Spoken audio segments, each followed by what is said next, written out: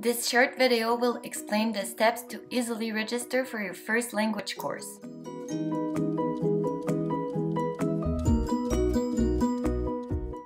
To start, open the Google Chrome web browser. Enter the following URL address.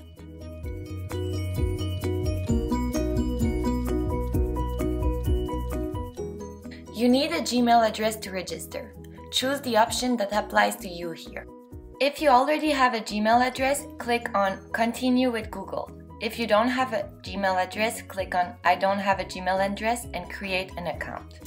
It is important to use only one Gmail address per account. Make sure you don't use the same Gmail address for different accounts.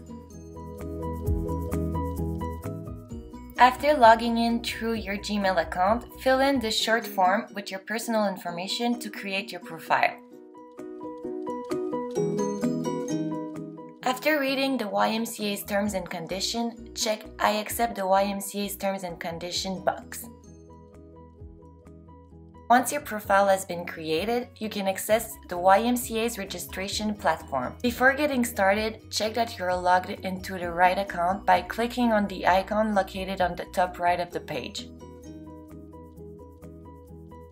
If everything is correct, click on Choose Your Language course. It is now time to choose the course category that you want. We offer adult courses, youth courses, private courses, corporate language training, test preparation, or international students courses. For example, let's say you want a course for adults.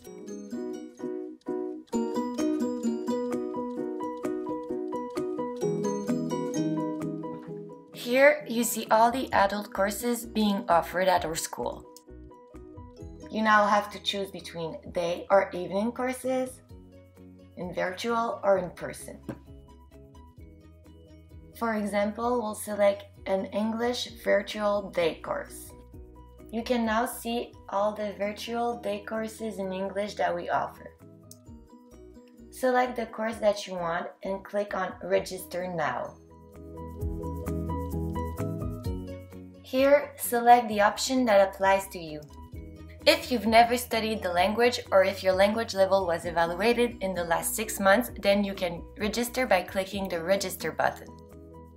If you've never taken a course with us or if more than six months have gone by since your last course, you will need to take an assessment test. Click on Take an assessment test. If you need to take a placement test, make sure you have enough time to take it and that you are in a quiet environment.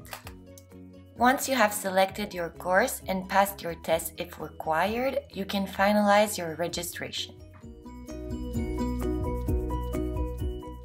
Click on the Register button at the bottom of the page and select the course that you want to take from the list.